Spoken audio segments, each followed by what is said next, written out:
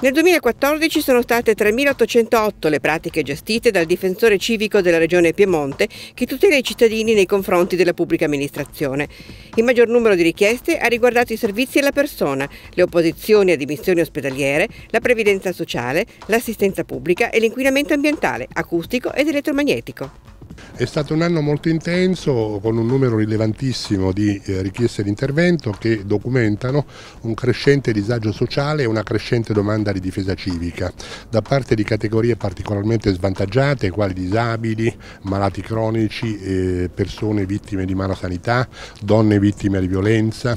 e situazioni varie in cui è necessario tutelare dei diritti e comunque dei rapporti nei confronti di pubbliche amministrazioni silenti o inadempienti o non sempre collaborative e dialogiche nei confronti degli utenti e dei cittadini.